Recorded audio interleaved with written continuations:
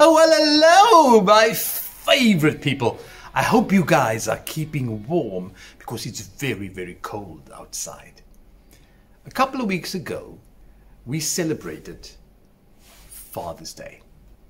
And on that day, I was reminded of the fact that my dad passed away at the age of 68. Now, you may not know this, but my dad was a teacher. And his dad, in other words, my grandfather, he was a, yes, you're right, a teacher. And my great grandfather was a, no, he was not a teacher. In actual fact, he was an artisan, somebody who did stuff with his hands. He was a tombstone maker and he worked for a company in Paarl. Now, you might wonder how do I know this? I know this because of stories that were told to me by my parents. You see, the thing is, we learn through stories because stories make us feel and stories connect us to people.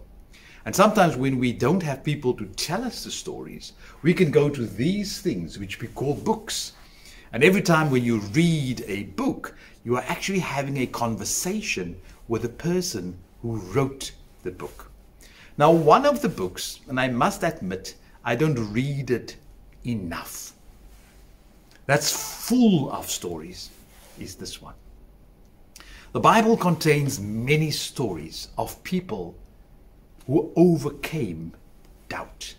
People who did not allow the little voice that says, Oh, what if it's not going to work? What if I try and it doesn't happen the way I want it to? The Bible contains stories of people who had faith, people who trusted God. And when we read these stories, we can be encouraged because the God who they served is the same God who loves us. The same God who is around every day to enable us to do what we need to do. So I want to encourage you in this new week. If you have a chance, if there are days when you don't feel at your best, open this book and find a story that speaks to your heart. And as you connect with those, those stories, hopefully you'll discover that you can overcome doubt. And you do that by faith.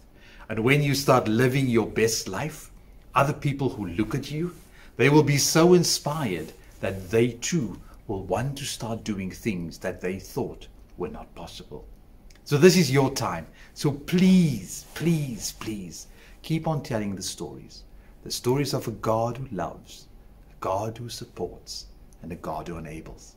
And until we see each other again, please do keep warm and if you can, rather stay indoors. Because last time I checked, rain makes you